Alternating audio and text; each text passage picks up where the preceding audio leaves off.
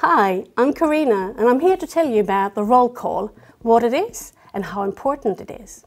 All programs at Linköping University start with a mandatory roll call. This is pretty much a last head count to finalise the number of students on each program.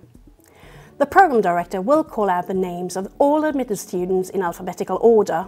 When you hear your name, you say yes or present. Make sure you get all the details right when it comes to the roll call. You have to be in the correct room, at the correct time stated, in person, to confirm that you are present. You must attend the mandatory roll call in person. See your program admitted webpage for details and contact information regarding your program. You can find your program admitted webpage via the admitted student web, liu.se slash admitted. However, there's always a small however.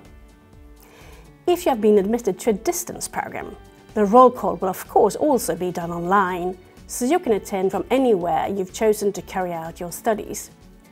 Keep in mind that this session will also be mandatory. In addition to this, we strongly recommend that you arrive on one of LIU's official arrival days so the International Office can welcome you. On official arrival days, the International Office has extended opening hours on Campus Valla.